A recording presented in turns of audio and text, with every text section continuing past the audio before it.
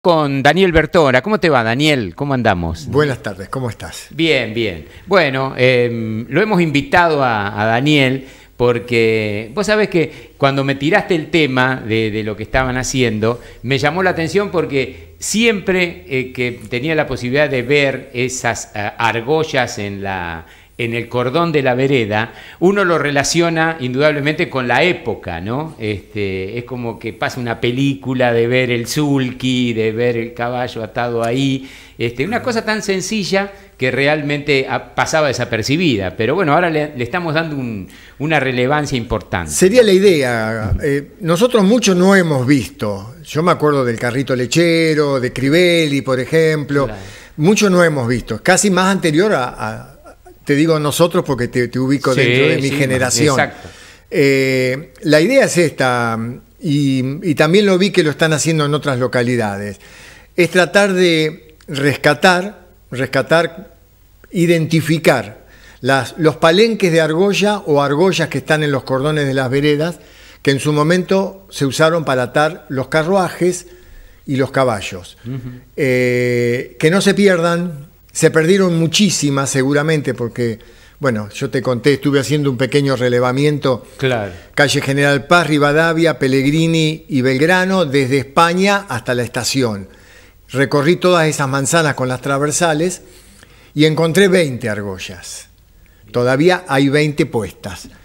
Eh, la idea es esta, eh, por eso yo me acerqué a vos, de poder eh, transmitir esto al, a tu público. Uh -huh y ver si aparecen algunas más, porque pueden haber claro. algunas escondidas todavía en algún cantero que ha quedado con Yuyo, que yo no la pude ver. Sí, sí, y bueno, y es acercar este proyecto a la Comisión de Patrimonio a través de la Dirección de Cultura, que ya hablé con, con la nueva directora de Cultura y la verdad que está dispuesta a, a recibir el proyecto, uh -huh.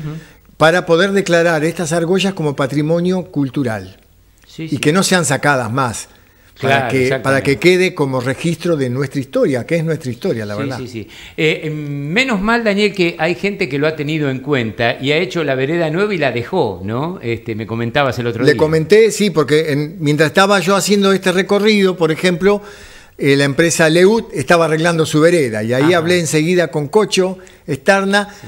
y ahí nomás mandó la, la, la indicación, no toquen largo, así que si pasan por Leut frente a Bodacio ahí, la vereda está arreglada, pero la argolla está presente, claro. ahí ha quedado. Sí, sí, y bueno, y hay otras 19 más que yo he encontrado ¿no? sí, en estas calles. Así que esa es la idea eh, de que esto, yo digo porque si hoy le preguntamos a muchos chicos de, de 14, 15, 20 años, por ahí le decimos qué es eso, algunos si no están vinculados a, la, a lo que es los caballos, eh, ni saben de qué, de qué claro. se trata. Sí. Imagínate dentro de 100 años, cuando digo yo, cuando anden los drones dando vuelta, que, ¿quién va a decir que para qué se usaba esto? ¿no? Exactamente.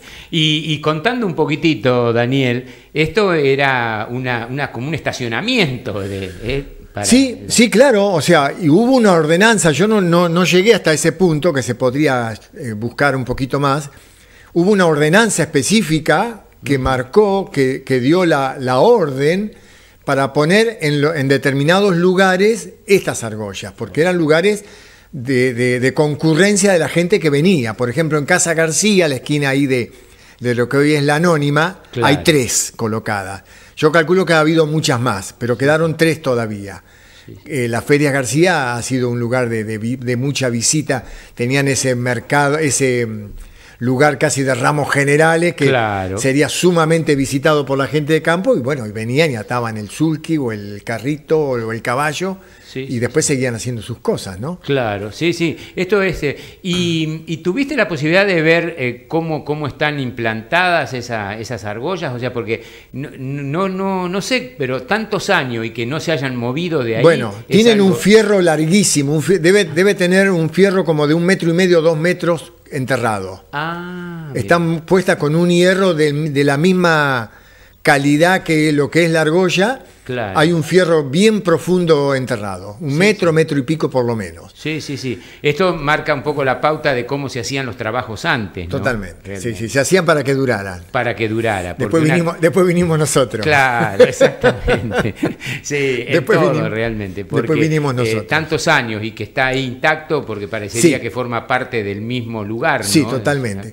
Lo, lo bueno es que mm, eh, yo, digo por ahí para que el frentista no, no, no, se asuste de lo que puede llegar a pasar, está tan cerquita del cordón que no va eh, la, identificación de la argolla no va a afectar ni la vereda, ni va, ni va a, modificarle la estética de la casa, diríamos, ¿no? Porque seguramente se va a hacer alguna señalización o alguna identificación que afecte más al cordón que a la vereda. Entonces, que nadie tenga miedo de que por ahí va, a haber una invasión sobre su, frente al darle a esta argolla un reconocimiento, ¿no?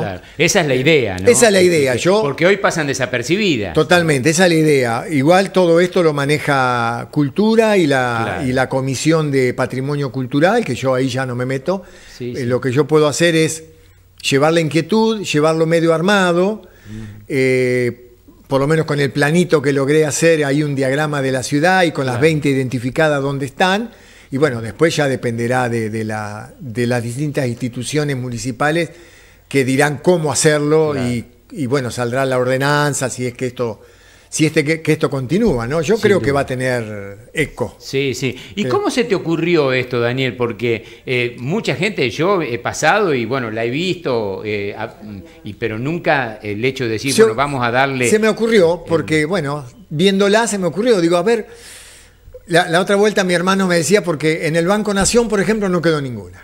Claro arreglaron la vereda y la gente que vino a trabajar la, sacó. Sí, sí, sí. Por ejemplo, no hay ninguna en ninguna de las dos plazas principales, ni la Plaza 25 de Mayo ni la Plaza de la Estación.